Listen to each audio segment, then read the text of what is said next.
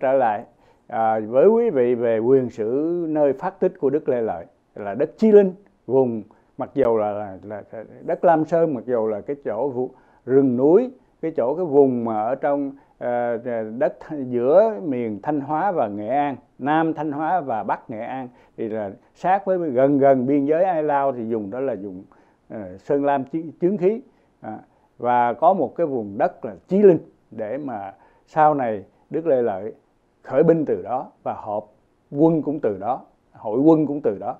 À, thưa với quý vị ngoài cái chuyện truyền tích mà chúng tôi trình bày khi nãy là còn một truyền tích khác nữa nhưng mà đây chỉ là một cái truyền tích thì eh, dĩ nhiên do dân chúng đồn truyền ra. Ờ, người ta ngưỡng mộ có thể ngưỡng mộ đức lê lợi truyền ra. Nói rằng vào cái thời trước khi đức lê lợi sinh ra đó à, thì là có một con cọp màu xám ừ, ở cái vùng đó mà người ta nó rất hiền. Cọp mà lại rất hiền là không bắt người không ăn thú vật mà lại rất thân với người. Thì, thì sau khi đó thì đức lê lợi được sinh ra. À, ông cụ ờ, bà cụ sinh ra thì là con cọp nó đi đâu mất. Người ta tìm không ra nữa. À, thì người ta nghĩ rằng đó là hiện thân của một ờ, con cọp ở vùng đất Lam Sơn mà ờ, Đức Lê Lợi đã đã đã, đã hiện thân từ con cọp đó. Cho nên người ta tin rằng đây là một vị thần linh xuống để mà cứu độ dân chúng do đó lòng người hướng về Đức Lê Lợi cũng rất đông thưa giáo sư. Dạ vâng. À, tất cả những hình sự mà giáo sư Hoa Thiên Nhân đã kể ra đó đó là một cái chiến thuật tôi gọi là ngày nay đó gọi là chiến tranh tâm lý. Dạ vâng. Cái chiến tranh tâm lý nó quan trọng như là chiến tranh bằng quân sự có khi dạ. hơn nữa. Vâng. Và Nguyễn Trãi à, ức cha Nguyễn Trãi đó là vị quân sư đã đưa được một cái bình ngô sách. Vâng. Cái bình ngô sách đó là trong đó có chữ là công tâm tức là đánh vào lòng người. Đánh vào lòng người như thế nào? Tức là làm cho quân địch nó nản nó muốn trở về nước của nó. Thì uh, uh, ông lê lợi vua lê lợi đã lúc đó còn là, là bình định vương thì đánh uh, du kích tức là đánh vào, đánh toàn tập kích không à? Toàn tập kích mà một lần đánh như thế là những quân nào mà không hàng là ông giết hết. Rất là sợ, quân quân tàu rất là sợ. Và sau thêm nữa là những người nào mà hàng á thì ông đối đãi rất là tử tế. Ông cấp ờ, lương thực cho sống rồi ông giữ là rất là sung sướng. Cho nên những người mà đi đi lính, đi ờ, đi lính cho cho quân nhà Minh ấy thì ờ, khi mà đánh muốn chỉ muốn hàng muốn nhân thân thôi. Còn về với vợ con ông một mặt kêu gọi đấy là cuộc chiến tranh tâm lý rất là quan trọng trong cái việc mà bình định uh, quân uh, Minh. Thì trở lại tôi tôi nói qua một chút xíu à, giáo sư còn nhớ là khi mà quân uh, Mông Cổ đó yeah, vâng. nó chiếm nước Tàu đó nó chỉ có 2 triệu à, 500 ngàn dân thôi và cái thời mình à, thời thời đầu đó đầu tiên đó yeah. mà nó cai trị cả trăm triệu trăm triệu dân đó, của vâng. Tàu đó Vâng. thì nó đã chia cái xã hội à, của nước tàu ra chia ra bốn cấp là thứ nhất là quan lớn của mông cổ thứ hai là những người mà dân tộc mà người hán gọi là rợ đó yeah. Dạ. thứ ba là những người mà um, có không không không có liên hệ gì mà cuộc chống lại quân mông cổ cả. Và thứ tư mới là người hán. Thì trong xã hội họ đã bày ra cái à, việc mà phân phân biệt phân phân biệt đối xử đó. Thứ nhất là cái người mà mà ngông mông cổ làm ở triều đình đó gọi là quan lớn mông cổ. À, làm ở tỉnh nhỏ là quan nhỏ mông cổ và sau đó là những người như là sư sãi kiểu như sư quốc danh bây giờ đó hay là những người thầy thuốc y sĩ rồi đến con hát con hát tức là ca sĩ thời bây giờ và sau đó mới là những người có học tôi gọi là nho sĩ đó yeah, dạ vâng. và cuối cùng thì là ăn mày như vậy thì cái giai cấp nho sĩ đó người có học đó, mà bây giờ tôi gọi là tri thức tiểu tư sản đó mà cộng sản họ gọi đó những người trí thức tiểu tư sản là những người mà có học có ăn có học nhưng mà không có theo cộng sản thì là thành phần mà lại có một tí ờ, tài sản nữa đó là thành phần uh, tiểu tư sản. Tri thức nữa thì thành phần là gọi nó gọi là mỹ nghệ đó là thành phần mà cộng sản bây giờ họ coi cái đám đó là cái thứ chỉ hơn ăn mày và sau cái con hát thôi thì ngày xưa chính cái người mông cổ nó vào cai trị nhà hán đã cũng đã chiêm phân chia như thế rồi thì chúng ta liên hệ cái lịch sử ngày xưa với lịch sử bây giờ thì đối với cộng sản thì chúng ta thấy rằng những người mà um, có học mà tiểu di sản hay là đi lính uh, cho Việt Nam Cộng Hòa thì họ đều phân biệt chỉ yeah. hơn ăn mày yeah. Dạ. và thua cả con hát nữa. Vâng. Đấy chúng ta thấy bảo vì thế mà tại sao có 100 hàng hàng triệu người phải đi bỏ nước đi ra nước ngoài là vì vâng. thế. Thưa giáo sư đó là ai cũng vậy hết đó mình sống không phải cá nhân mình thôi mà mình còn phải nghĩ tới tương lai của nòi giống và tương lai của gia đình hay là bản thân chúng ta mà tương lai của chúng ta là gì là con các cháu của chúng ta thế mà khi cộng sản họ vô đó thì họ lấy lý lịch họ soi thành ra khi mà theo ừ, học tài thi lý lịch là cái câu của miền Nam hồi xưa sau khi cộng sản chiếm đóng. Thì chúng ta thấy rằng con cháu họ học dốt, học tới lớp 10 gì cũng đẩy lên rồi ra phổ thông. Trong lúc đó con cháu ở trong miền Nam học đứng đắn, học ra lớp 12 đàng hoàng nhưng mà học tài thi lý lịch. Thành ra vì cái lý lịch là ờ, con của, cựu công chức, cựu viên chức hay là giáo sư hay là bác sĩ, kỹ sư gì trong Nam lại không cho đi học nữa mà bắt đi qua học nghề trong lúc đó con của cộng sản thì nó dốt nhưng mà được đậu vào các trường đại học chính quy hết á. thành ra gì lẽ đó mà vì chán quá một cái chế độ như vậy thì thì làm sao mà nhân tài có thể trỗi nở, nở rộ được cho nên chúng ta bỏ đi hết là như vậy.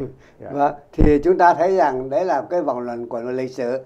Nếu mà lịch sử chúng ta học ông vua này chết, ông vua cái chết, rồi là ông vua nó nói ngôi thì nó chán lắm phải không? Dạ vâng. Chúng ta phải liên hệ. Thì cái liên hệ của nhà Minh đó. Dạ. Nó áp dụng, nó bị uh, quân uh, Mông Cổ, quân Mông Nguyên đó, nó sang nó, nó chiếm nước tàu nó loại gọi là đại nguyên. Tôi quân mông cổ tôi gọi cho, nó dễ hiểu cho dễ nhớ. Thì quân nhà minh là những người mà đã đánh thắng quân mông cổ của nước tàu thì đã đem bị cái cái cái quân quân mông cổ nó áp bức nó cai trị 90 năm. Vâng. thì đem tất cả những kinh nghiệm là 90 năm đó để áp dụng cho cái việc mà cai trị nước uh, An Nam trong trong uh, thời gian mà um, gọi là Bắc thuộc lần thứ tư đó. Yeah. Dạ. Thì cái việc mà nó đồng hóa dân tộc ta đã là lành đã lành nhưng mà nó đối xử phân biệt thì không khác gì là cái thời mà mà mà mà cộng sản mới vào miền Nam vậy. Yeah. Dạ. Nó phân biệt, nó chia ra những con em mà Mỹ Ngụy đó mà nó gọi thế đó thì không bao giờ được đi học như giáo sư Hoàng Thiên Nhân nói. Vâng chúng ta phải bỏ nước ra đi là cũng là lý do và nhiều người còn nhớ đó nhưng mà nhiều người đã quên mất rồi yeah. lâu qua lâu ngày đã quên rồi yeah. vâng thì cái chuyện đó mình cũng khó nói là tình đời mà yeah. nhưng mà nhắc lại lịch sử là nhắc lại những cái chuyện mà nó làm ác với dân tộc Việt Nam như thế nào right. thì nó là một cái việc mà không phải tự nhiên mà có đâu yeah, right. nó là cái trước rồi trước nữa trước nữa tức là từ thời uh, Mông Cổ yeah. rồi sau đó rồi sang uh, đánh sang nhà nhà Minh yeah. rồi đến là làm Mãn Thanh tức là những việc mà nó nó nó làm ác làm một dân tộc nhỏ một dân tộc khác biệt với nhà Hán nó đã cai trị nhà Hán như thế nào nó chiếm đất một cách dễ dàng lắm yeah. quân Mông Cổ muốn chiếm đất của nhà Hán của nông dân nhà Hán. Yeah. dễ dàng không có bị bắt bị tội gì hết chiếm đất chiếm ngựa thì có khác gì mấy ông ờ, quan ờ, đảng viên không yeah. Dạ. chiếm đất chiếm đất nhà chùa nhưng mà cái khác ở chỗ có một điểm khác là nó nó ghi vào luôn là cái hiến pháp phải không yeah. Dạ. hiến pháp là đất đai là của của toàn của, dân của nhà dân nhưng nói mà, toàn dân nhưng mà thật nhưng ra mà, của đảng cộng sản dạ. mấy ông ấy ờ, chiếm được không có sao hết yeah. nhưng mà nhân dân làm bị mất dân làm chủ nhưng mà thật sự ra là, là đảng viên làm chủ. Vâng chúng ta so sánh vậy thôi. Yeah. Dạ. thì trong cái thời mà nhà Minh nó đàn áp dân ta nó bán những người Hán ở trong thời Mông Cổ đó. Yeah. Dạ. bán người Hán à, trai gái người hán ra ngoại quốc làm nô lệ hay là làm nô lệ tình dục các thứ đó. Dạ. Thì không có ai bắt phạt đấy. Dạ. Thì có khác gì cái thời mà, mà, mà cộng sản bây giờ đâu. Dạ vâng. Những người ở Việt Nam đó bị bán ra ngoại quốc bị bán à, ra làm à, gái điếm dạ. ở các nước ngoài đó vâng. thì cũng là không có bị tội gì hết. Vâng. Đó.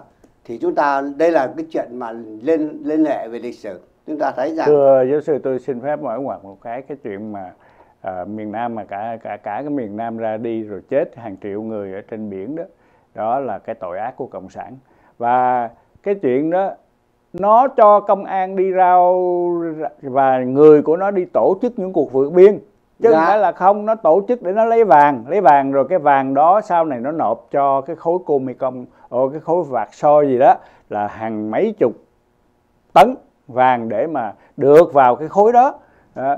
thì cái vàng đó thì nó tổ chức nó cho người đi rồi nó rồi phạm văn đồng lại lên tiếng đối với quốc tế là người ta hỏi tại sao để mà dân bỏ nước ra đi giữ về thì anh nói là ờ, bọn đó là đĩ điếm nó ăn thích ờ, sung sướng hưởng thụ nó không chịu nổi với cuộc sống của nó trên đi quốc mà. dạ đấy thành ra chúng ta thấy rằng cái chuyện mà này đó giáo sư song thuận nói nó bắt nguồn từ sự tàn ác của quân mông cổ đối với người hán thì người hán học cái đó đem qua việt nam áp dụng với thời nhà minh Nhà Minh. đối với người đại việt Dạ vâng, đấy là cái lòng luẩn quẩn của lịch sử và chúng ta thấy rằng cái việc mà à, nó nó tiêm nhiễm giờ phải không? Dạ. Những ác độc thì tại sao mà tiêm nhiễm?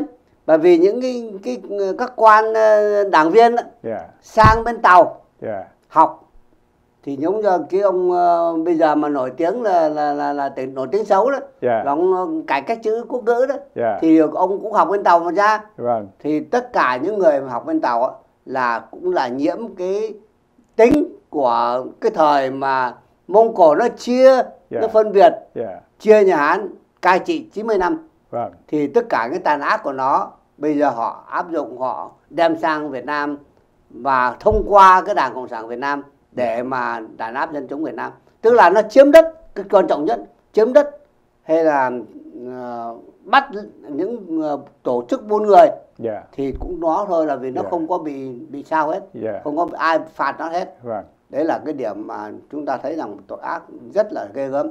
Vâng. Vâng. Thưa giáo sư mình trở lại cái vấn đề là đức bình định vương lê lợi. Vâng thì là chúng ta À. trở lại cái bình định vương lê lợi. Dạ thưa đã, tôi đã, xin đã làm sao mà thắng được chứ cái tội ác đó? Dạ. Thì ông là dùng cái gậy ông đập lưng ông. Vâng. chứ bây giờ ông tổ chức là ông phải là cái muốn hàn gắn mà muốn có được cái cái sức mạnh đó dạ. phải đánh vào lòng người. Vâng. Có hai điểm. Thứ nhất đánh vào lòng người là gì? Và đánh cho quân địch quân ờ, nó xâm lăng đó. Dạ. Cho nó sợ và đánh vào lòng người của dân ta đó là đánh vào cái kích thích cái tâm lý là nếu mà chúng ta để cho tụi nó nô lệ như thế đó nó tàn ác nó nó nó nó cai trị mình đô hộ mình đấy thì mình sẽ khổ sở như thế nào Rồi. Vạch nó ra cho nên cái việc mà cái bình ngô sách của ông Nguyễn Trãi đó, rất là quan trọng đó là chiến tranh tâm lý đó Dạ. là một cái việc mà Bình Định Vương đã dựa vào đó vâng. Mà chiến thắng. Thì Vâng. thực ra không phải không phải dựa, dựa vào đó không nhé. Vâng ông còn thêm cái nữa ông Nguyễn Trãi đã thêm là công tâm tức là đánh vào lòng người. Vâng. nhưng mà ông đối xử tức là đối xử với những người hàng binh đó dạ. quân binh mà là hàng á vâng. thì ông đối xử rất là tử tế. Vâng. Thứ hai nữa là cũng phải nhờ cái ông Nguyễn Trích tức Vâng. là trong cuộc chiến tranh này có một cái sự làm làm sao nhiều quân. Dạ thì ông bảo là bây giờ Nam Bình dạ à, Bắc Tiến. Vâng. Hay là Bắc à, Nam Tiến là Bắc Bình gì đâu cũng được đi. Dạ thì ông đã lui quân đánh vào cái miền Trung. Dạ và đã quân đội đã đánh chiếm cái vùng chung quanh ờ, cái Nghệ An đó. Dạ và ông có một quân rất là nhiều nhiều Dạ. quân đó phải không dạ đó sau đó rồi mới tiến ra Bắc đánh Thưa- Lung Đô. thưa giáo sư rất, rất Đức Lê Lợi đã biết sử dụng người tài đã chiêu hiền đại sĩ các cái, cái nghĩa sĩ từ các nơi á, mặc dù họ khởi nghĩa chống quân Minh ở đâu đâu đó sau khi họ đánh không lại được cái quân đồn trú đó thì họ bỏ chạy về với Đức Lê Lợi. Thì trong đó đó ông cụ, cụ Nguyễn Trãi ức trai cụ ức trai đó là một người con của một quan à, thưa giáo sư cụ à, tên là gì? Từ từ từ à, à, Nguyễn Phi Khanh dạ. yeah. Khi đó là vì làm quan với thời nhà Hồ cho nên bị bắt cùng giải sau khi Hồ Quý Ly dạ. thua đó thì là bị bắt giải về Kim Lăng. về, về Kim Lăng tức là về về Bắc Kinh đó thì cụ Nguyễn Trãi đi theo và tiễn bố mình qua khỏi biên giới để mà bởi vì đi theo cha thì thấy cha bị bắt thì tội tội quá đi theo ông lúc đó còn nhỏ thôi thì cụ, ông bố mắng là thân làm con trai tại sao phải đi theo khóc lóc như đàn bà thế đi về kiếm người để phò tá mà dựng nghiệp và mà lấy lại đất nước thì nhờ cái câu nói đó của cụ Nguyễn Phi Khanh mà cụ Nguyễn Trãi về trở lại và để người em đi theo cha mình và về trở lại theo phò tá Đức Lê Lợi 10 năm kháng chiến ờ, để mà cứu nước. Thưa bây giờ tôi xin phép trở lại cái thân thế của Đức Lê Lợi một chút, có tính cách nó, ờ, chất liệu sử về con người của Đức Lê Lợi. Thì thưa quý vị, theo cái quyển sách mà tôi cũng đã tìm hiểu do tác giả là Quỳnh Thanh Nhân ông này viết là lược sử Việt Nam chống Trung Quốc xâm lăng Trung Hoa chứ không phải là Trung trong Trung Hoa xâm lăng thì ông viết về thân thế của Đức Lê Lợi thế này Lê Lợi sinh ngày mùng 6 tháng 8 năm Ất Sửu nhằm ngày 10 tháng 9 năm 1385 tại Hương Chủ Sơn, huyện Lôi Dương, Lộ Thanh Hóa, nay là huyện Thọ Xuân thuộc tỉnh Thanh Hóa. Tướng mạo và thiên tư khi vua sinh ra thì thiên tư tuấn tú khác thường, thần sắc tinh anh kỳ vĩ, mắt sáng, miệng rộng, mũi cao, trên vai có nốt ruồi, tiếng nói như chuông đồng, dáng đi tựa rồng, nhịp bước như hổ, kẻ thức giả đều biết vua là bậc phi thường. Là ông trích trong cái quyển Đại Việt Sử Ký Toàn Thư, à, số trang là trang 256. Đó, đó thì chúng ta thấy rằng với cái cái tướng mạo như vậy đó ờ, chính ông Trần Nguyên Hãn khi, và ông Nguyễn Trãi khi đến thăm Lê Lê Lợi tại Lam Sơn thì khi gặp ngài thì đã, hai ông đã nói với nhau rằng ông ấy, tức là Đức Lê Lợi, có tướng như Việt Vương Câu Tiễn. Chỉ người này thì chúng ta sẽ giúp trong lúc hoạn nạn nhưng mà khó ở nhau lúc sung sướng bởi vì Đức Lê Lợi đa nghi lắm có lẽ vì ông chinh chiến nhiều quá ai bọn quân binh nó mua chuột này kia để giết ông thành ra ông đa nghi lắm ông sợ người những người xung quanh ông lắm. Thành ra vì vậy cho nên tướng hai vị công thần là sau này hai vị công thần này cũng rất là khó khăn với triều đại của nhà Lê. Thưa quý vị thì mình nói về cái ờ, đây là một cái vị vua mà uh, rất có là phẩm chất đây là phẩm chất này đó là phẩm chất của một người nông dân sống ở thiên nhiên là những người cần cù kiên nhẫn chịu đựng những người rất là quyết tâm khắc phục mọi khó khăn nghịch cảnh để vươn lên theo uh, cuộc chinh chiến. Thì đó là cái bản tính của ông Lê Lợi vì ông xuất thân cho nên chúng ta đã gọi là anh hùng áo vải đất Lam Sơn.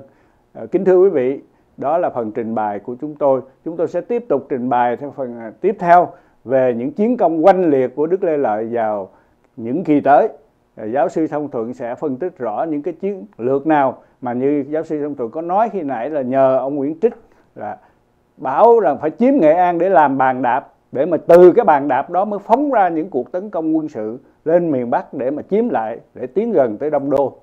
Chúng tôi sẽ trình bày với quý vị phần tiếp theo tuần sau.